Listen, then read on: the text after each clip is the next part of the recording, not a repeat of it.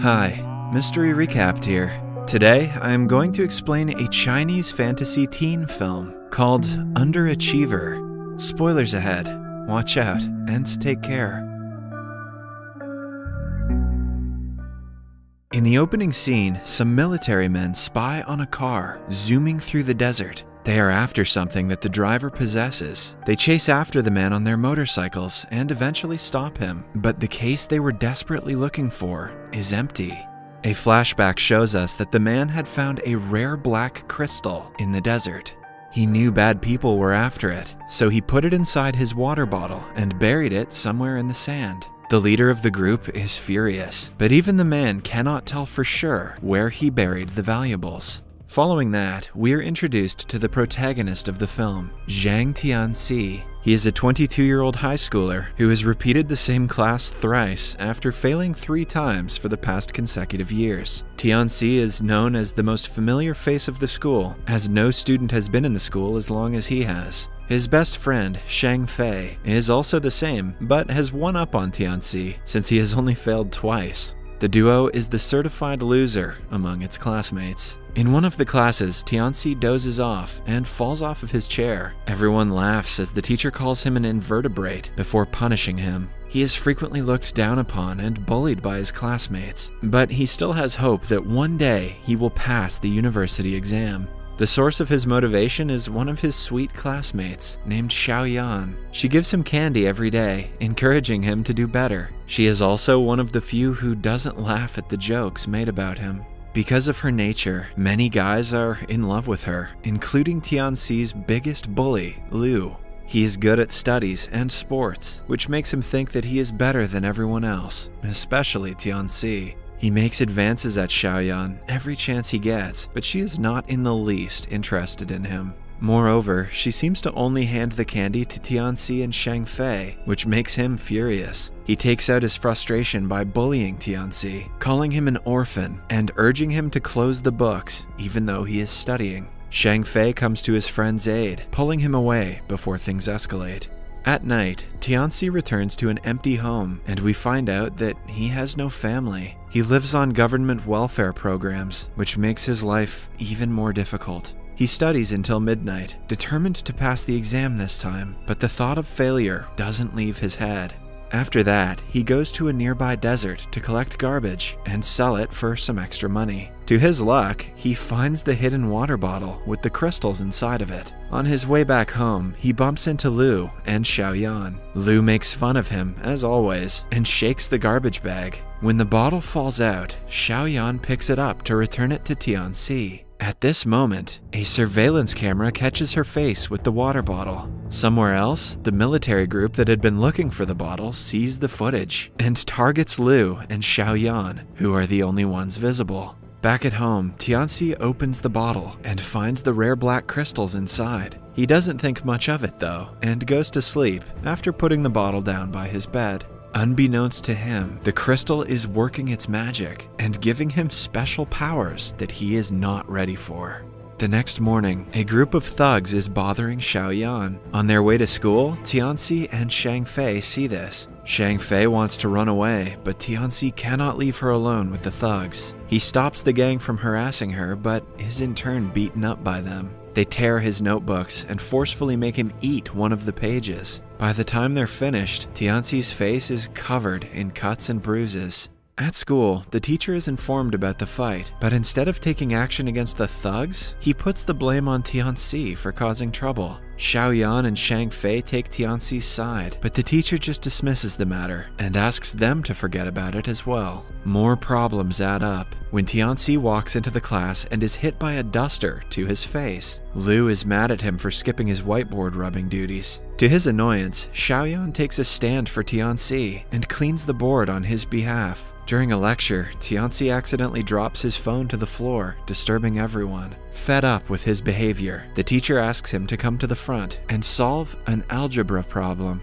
To Tianci's surprise, he seems to understand the problem. He efficiently solves it in front of the class and surprises everyone, including himself. Liu tries to undermine his intelligence by saying that the method he used is wrong, but the teacher claims that it's just a bit complex. Suddenly, Tianci remembers that the paper he was made to eat in the morning consisted of similar mathematical problems. He puts two and two together and figures out he might have gained a superpower of memorization when he eats a paper with some form of information on it. After school, he tells Shang Fei everything about the revelation, but Shang Fei doesn't believe him. Instead, he thinks that Tianci must have studied the problem and forgotten about it. Still, to test if he is telling the truth, he makes Tianci eat a paper with all the fighting techniques that he has been learning in the karate class. On his way back home, Tianci again encounters the thugs from the morning. The leader is the comb man, who fixes his hair before and after every fight. He challenges Tianci to stand against them, unaware that Tianci knows everything about fighting, like Bruce Lee. The fight ends in only a minute as Tianci defeats all of them with his outstanding techniques. The comb man vows to never mess with him again.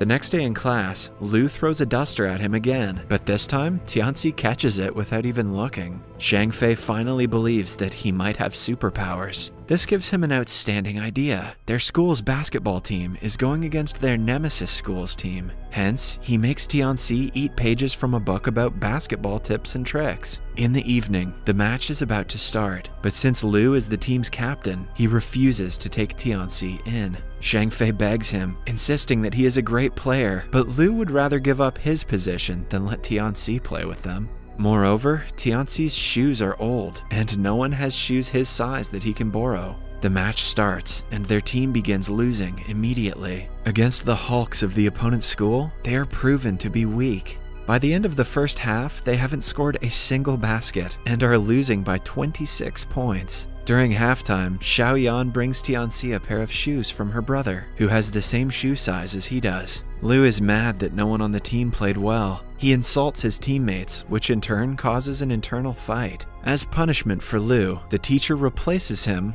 with Tianci. Initially, Lu doesn't mind because they're losing the game anyway. But then, Tianci starts scoring one basket after another, surprising everyone. As time passes, he catches up to the opponent's score and gives them a tough time. Lu makes his best friend play badly, so the team won't win the match, and Tianci won't get the credit he hopes for. But Tianci manages to score a difficult basket and impresses everyone even more.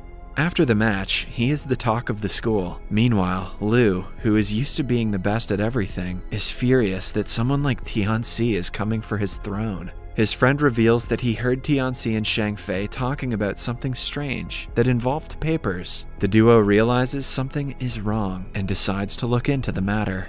The following day, Tianci returns the shoes to Xiaoyan, thanking her for always being there for him. She had always believed in him, even when he was considered a loser. Now that he is one of the popular ones, Tianci thinks he owes his success to her. They walk home together and begin dating starting that day. In the following scene, we see them hanging out by the sea, singing together, and falling in love with each other. Lu is furious and mixes laxative into a drink and hands it to a girl to deliver it to Tianci. He wants to humiliate him in front of Xiaoyan, but the plan fails when the girl hands the drink to the teacher instead. The teacher does some questionable things during the lecture that day, but the students just laugh it off. As the days pass, Tianci eats more papers instead of studying, but he soon discovers that the paper memory is taking up space in his head, and he is beginning to forget events that happen in real life. If he continues using the power of the magical crystal, he might one day forget who he is. However, he is scared that if he returns back to being a loser, Xiaoyan might not want to be with him anymore. That afternoon, the leader of the men who are looking for the crystal finds the comb men. He threatens the group to tell him where Lu and Xiaoyan are. After school, Lu insists on walking Xiaoyan home, even though she refuses repeatedly. Suddenly, someone attacks them from behind and takes them to the gang's hideout. They are asked about the crystal, which they, of course, know nothing about. But as the men explain to them what the crystal is, Lu realizes that Tianci must have it. He tells them about him and gives them his phone number. Somewhere else, Tianci tells Shang Fei about the memory problems he's been facing recently. He reveals that he doesn't want to use the crystal's power anymore. Shang Fei is disheartened because he has grown to like the new Tianci, but he understands the decision. Just then, they get a call from the kidnappers, who threaten Tianci to come to the hideout with the crystal if he wants his friends back alive. Tianci knows that even after he hands them what they want, it is likely they will not spare the group. Hence, he eats a bunch of papers with different fighting skills to teach the gang a lesson. Before leaving, he also hands Shang Fei a purple gift box to give to Xiaoyan if he doesn't return from the mission. In the following scene, he walks into the hideout at gunpoint and hands them the bottle. But the leader is furious to find it empty. He fires at Liu and Xiaoyan to retaliate as Tianci begs him to let them go. Liu panics and starts running, causing a shootout. He gets shot in the leg and hides behind a bunch of boxes with Xiaoyan. The antagonist manages to get to Xiaoyan and holds her hostage against Tianci. Tianci, in turn, attacks him with a knife, but after a bit of struggle, he is stabbed in the abdomen. The leader has complete control over the situation when the screen dips to black. A few days later, Liu is in the classroom, bragging to his classmates about how he saved the day like a hero, even though he was shot. Somewhere else, Shang Fei gives Xiaoyan the gift box that he was given by Tianci. It consists of the towel she used to help Tianci during the basketball match, the candy wrapper, and many little things that he saved from their time together. Just when we think he didn't make it out alive, Tianci appears in front of the two. A flashback shows us that even when he was severely injured, he took out the knife from his abdomen and killed the leader. In the final scene, Tianci and Xiaoyan hug before the trio walks away while engaging in a cheerful conversation. Subscribe for more videos like this, turn on notifications, and leave a like to help the channel out. Thank you for watching.